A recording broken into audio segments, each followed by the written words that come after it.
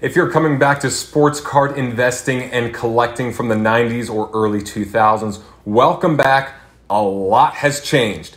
Uh, besides the prices going through the roof, besides this Panini Prism stuff, besides all the grading, the way we buy sports cards has changed completely. The internet has allowed sports cards to change ownership, change hands way quicker than anything we had back in the day.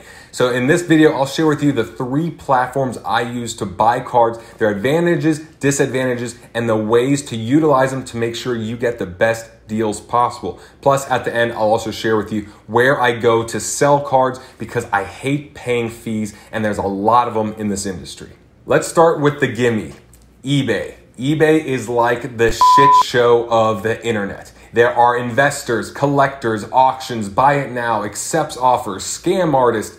There's anything and everything is on eBay, but it's truly the standard because there are so many buyers and sellers that it accurately shows market value. Now, if you used another platform that was only for investors, you wouldn't really get market value because we need to see what everyone is willing to pay for a card at a given amount of time. Even websites like PWCC use eBay sold data to help determine what you should sell your cards for. Jeff of Sports Card Investor, his market mover tool, which he's put together, analyzes eBay sales. So, eBay, because it's the largest pool of buyers and sellers, that is going to be the best source of data. Now, as a buyer, I don't like eBay for several reasons. Number one is you're paying for shipping, which could be built into the price, it could not be, but regardless, you need to receive the card. Number two, you're paying taxes. Unless you have a business registration and you have a sales tax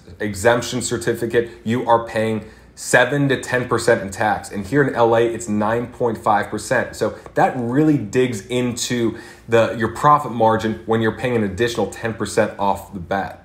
But there are definitely some perks to eBay. Everyone knows eBay, everyone trusts eBay. It was there for the last 30 years or so, ever since the internet came about. So you have all people that are on eBay and are connected to PayPal. It's not like you have to sell through this little underground form that only savvy investors know about. An alternative to eBay is COMC, which I use a lot and I talk a lot about in this channel. It is amazing, and to me, it's the future of sports card investing because it's a giant warehouse, a giant headquarters that holds millions and millions of cards. So you could literally send your cards there in bulk, sell them, and then when someone else buys the cards, they don't have to receive them if they don't want to. They can relist them, they can uh, all receive them at once, but it's not like this pay $3 shipping here, pay tax. Plus, yeah, they don't charge tax, which is even better, and it's only a 5% fee when you sell versus 10%, which is on eBay. Now, one of the caveats with COMC is that when you put money on COMC, you sell cards and you want to retrieve your money, you want to cash out, they charge 10%. But in another video, I'll explain how I'm not going to pay that. I can work around that system. Regardless, COMC eliminates a lot of the pain points that collectors and investors have, mostly with taxes, shipping, and just disorganization. The last platform is Beckett Marketplace, and this is not a very nice website. In fact, the layout is so antiquated, I feel like it's going to the library to find healthy recipes in 2020. You don't do it. You go online, you find something easy, you watch a YouTube video. But Beckett Marketplace is like going back in time. You look up cards and there's no pictures, it's just a little description. Uh, it just seems so outdated and horrible in a way. But because of that, there's opportunities that are there just left open because other people don't want to use uh, time to dig through all the crap and, and to go through this painful process. So there's definitely opportunities there if you have the patience. One thing I really like about Beckett is that they don't charge tax and a lot of the card shops that they're partnered with on their site have free shipping offers over $25 or 40 or over 50 bucks. So again, when you're buying these small cards, these lower end cards, to avoid shipping and avoid taxes, that is a big deal. Now, those are the three major platforms, but let's dive a bit deeper into how to find the best deals on all of them. So on eBay, I told you it's a shit show. There's buyers selling all sorts of crazy things. There's scam artists, there's good pictures, there's bad pictures, there's whatever. But what I like about eBay is that it's one of the few places where you can post lots. As in, I have a 50 card lot of Kobe Bryant. And because it could be just a collector that's posting it and collectors looking at it, they might not know the value. But as an investor, if you can look through the pictures, see the conditions of the cards, and then do your own math in terms of, okay, there's eight rookie cards here, there's five inserts, and I can estimate what I could sell this all for is 500 bucks, then you can quickly put an offer in of 300 and see if it's accepted. Because of the lots, you really have this unique opportunity to find some gold where other people don't have either the knowledge of the card values or they don't have the patience to sort through and do the math in their own head as to what they can get from it. The other opportunity of eBay is high supply times. Remember, when you are investing in cards, it comes down to supply and demand.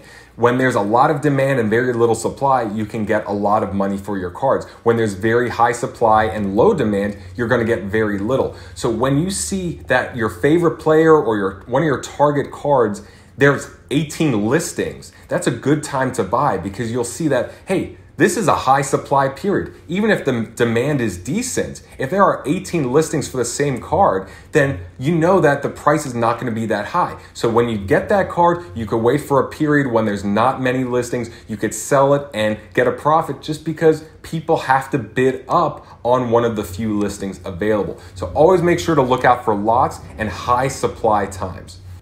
All right, let's move on to COMC. And there's a lot of ways of finding deals on COMC and taking action quickly because it is such a liquid and fluid uh, platform. So, one great thing about COMC is the organization. It is so easy to find cards and to sort by deals. So, I'll look up at the top, I will sort by recently posted sales. I'll take a look at the sellers, see exactly what they're selling, what kind of prices they're posting. I, I can look on PWCC and see what those have sold for recently to see if they're really a good deal or if it just appears to be a good deal. I will look at some of my top sellers or favorite sellers, see what deals they're offering or cards they're offering. And I feel like it's just a great place to find cards on sale and just make sure that you are confirming with other websites like eBay sold sales or PWCC to make sure that the deals are actually as good as posted. Because if they're just marking up the price 3x and then taking off 50%, it might appear like a deal, but that doesn't mean that it's actually a good deal.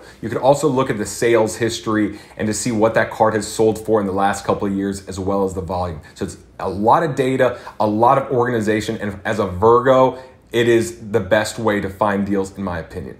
And lastly, Beckett Marketplace is great when there is a surge on one specific player. For example, let's take Jarrett Stidham.